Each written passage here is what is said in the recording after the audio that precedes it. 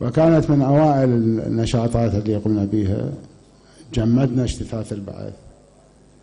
عدنا الجيش سميناه الجيش العراقي. رجعنا مئات الألوف من العسكريين.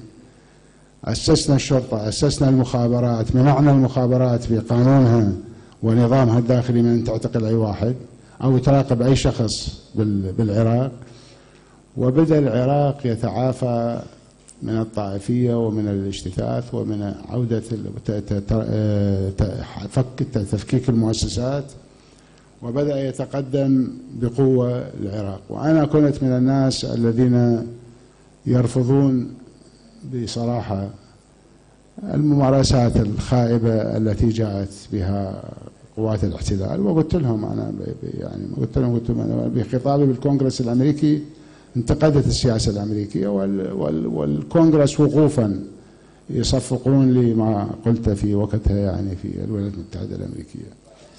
وسياستنا الاقتصادية بنيت على تحقيق الرفاهية والكرامة للشعب العراقي وعلى إزالة المديونية في العراق. وساعدني مجموعة من الأخوة في مقدمتهم عدنان الجنابي اللي كان وزير معانا وهو جالس معانا هنا في معالجة المسائل الاقتصادية. وبدينا نشكل مؤسسات للدولة ليس لنا وإنما للدولة. شكلنا مجلس عمار سلمت إلى برهم صالح.